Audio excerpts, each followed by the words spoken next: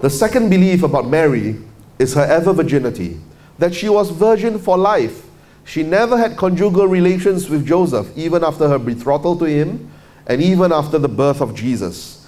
They had no children of their own. Mary and Joseph had no children of their own. The only child they had was Jesus, who was conceived in virginity. What do the church fathers say about this? The fourth century church fathers, all of them spoke of Mary as having remained virgin all throughout her life. Athanasius of Alexandria in the year 293 to 373 AD. Epiphanius of Palestine in the year 313 to 403 AD. Jerome of Stridon, which is present day Yugoslavia, 345 to 419 AD. Augustine, Numidia, now Algeria, from 354 to 430 AD. Saint Cyril of Alexandria, 376 to 444 AD. These were all 4th century church fathers who affirm the perpetual virginity of Mary. At the Fifth Ecumenical Council in Constantinople, they twice in this council referred to Mary as ever virgin.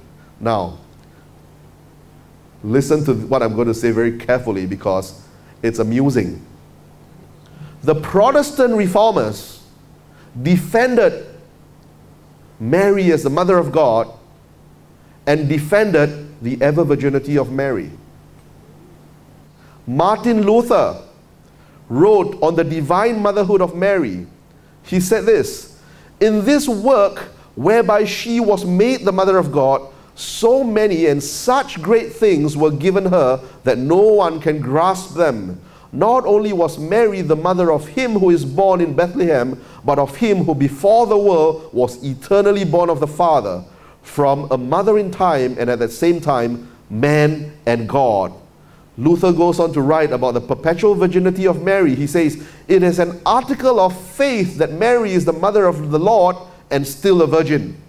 Christ, we believe, came forth from a womb left perfectly intact.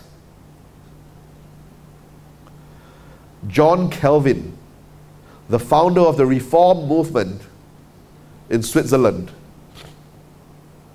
he said that Mary was the mother of God, and this is what he writes It cannot be denied that God, in choosing and destining Mary to be the mother of his son, granted her the highest honor. Elizabeth called Mary Mother of the Lord because the unity of the person in the two natures of Christ was such that she could have said that the mortal man engendered in the womb of Mary as at the same time was at the same time the eternal God.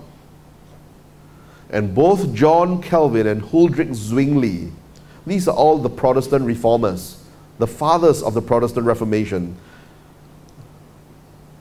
Both John Calvin and Huldrych Zwingli affirmed the perpetual virginity of Mary.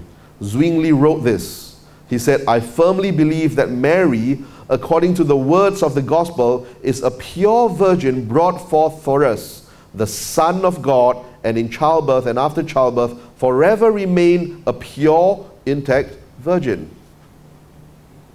We hold on to these two ancient dogmas as true until now. There are people who have concerns about these dogmas, yes, questions. You know why? Because there are certain parts of Scripture where, show, where it says that Jesus seems to have brothers and sisters. You see, it uses the word adelphoi, the brothers of Jesus. But just because these people were called the brothers of Jesus does not mean that they were his blood brothers from his mother and father. No. You know, many of us come from traditional communities, right? Uh, what are cousins? Brothers, right? I remember there was a young Indian boy in my parish last time, and I asked him, How many brothers and sisters do you have? He said, 17. I nearly fainted, you know, my blood pressure shot up. Because I said, Huh? 17? He said, Yeah, 17. And I said, What? What's your mother? A baby machine? and then after I probed further, I realized that he was referring to all his cousins. He himself had only one had only two other brothers. The rest were all his cousins.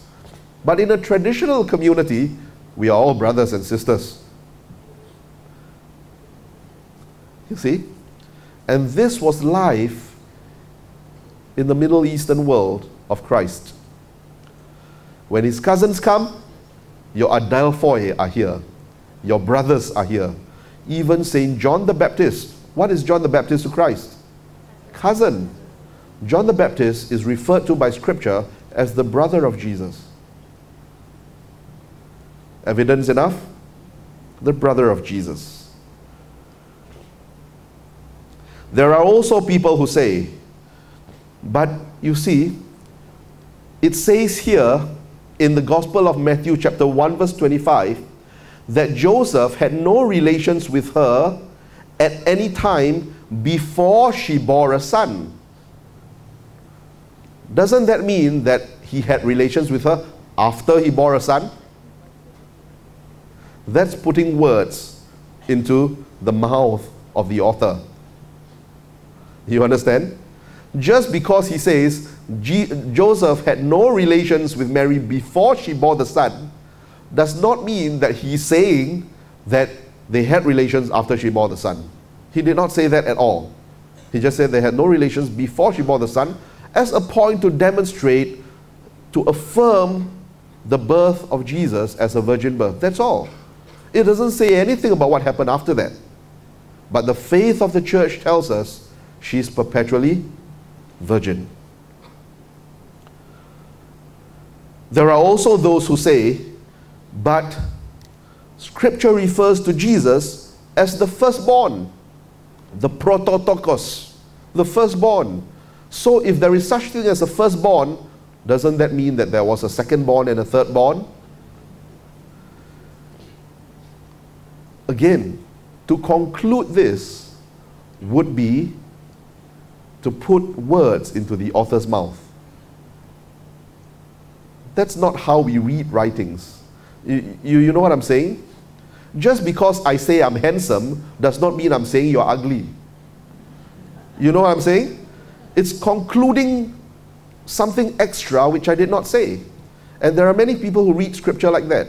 So if I say Mary did not have relations with Joseph before the birth of Jesus, I'm not therefore naturally saying or automatically saying that Mary therefore had relations with Joseph after the birth of Jesus. That's not what I'm saying. Just because I say that Jesus is the firstborn of Mary does not mean that I'm saying there was a secondborn and a thirdborn. I don't know if I'm ever going to have a secondborn or a thirdborn. Some people look at me and say, Yeah, I think you have a secondborn in you. But right now I have one son, and whether I'm going to have any other sons or daughters after that, he's my firstborn. And just because I call him my firstborn doesn't mean there's going to be another one coming out next week. Thank you for watching this video.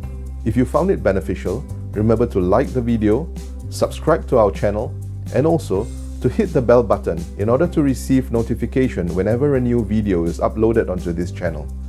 Do also check out our online catalog by clicking on the link in the description below.